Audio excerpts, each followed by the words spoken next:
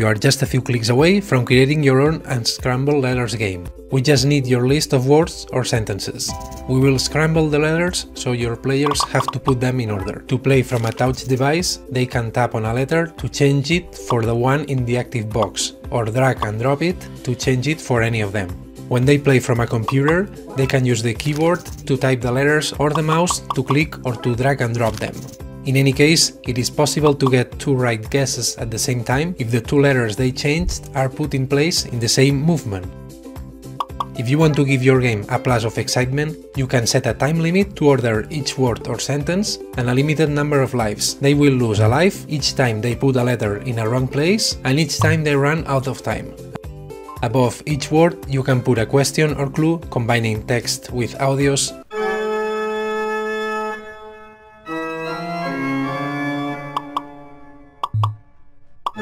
pictures or animated GIFs. Let's go! The first thing you're going to do, which you may have already done, is clicking on New Activity and choose Unscramble Letters. If you don't have an account or you are not signed in, it will ask you to do it.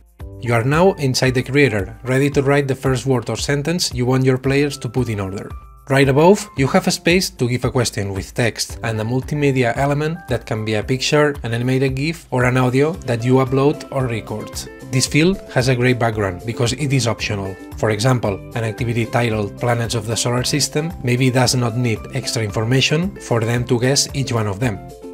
You need just one word to create a game, but you can add many with the button Add Word or clicking on the duplicate button if the one you want to create is similar to one you already have. With the edit button, you can open and close each word to work on it or to check everything is okay.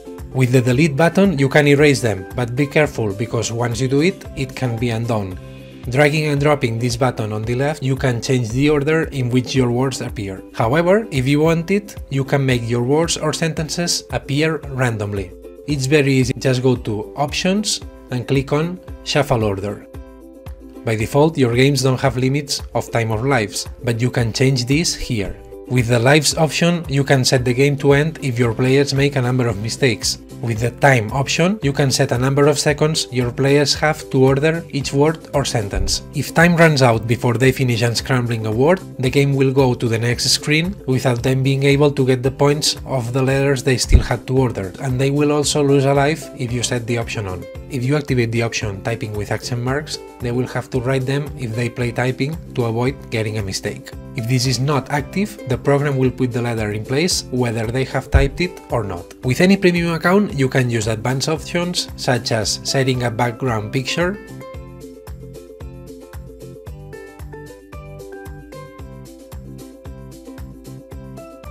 setting the activity as private,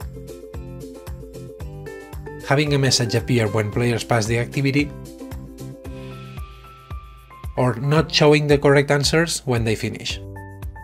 If you are a premium commercial, you can also customize the activities with your logos and your corporate colors.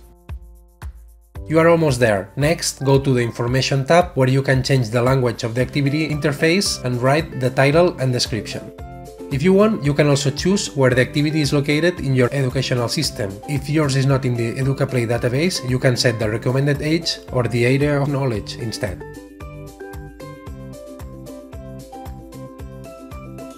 In any case, to make your activities easier to classify, you will have to set a minimum of 3 tags, which you can separate by commas or by pressing enter. When your activity is ready to be published, you'll just have to click the publish button. It may happen that the activity cannot be published because you are missing some mandatory fields or because it does not meet the minimum quality standards. If that's the case, when you click on publish, a message will appear warning you of what you have to change. If everything is okay, then your activity is published. Congratulations! Once your activity is published, a screen will appear from which you can do many things. You can keep on creating activities, you can check the one you just created, you can get the link to share it, you can publish it in Google Classroom or other platforms, you can create a challenge with it, or you can keep on editing it. You can do all of this whenever you want. Just go to your profile and click the buttons below the activity.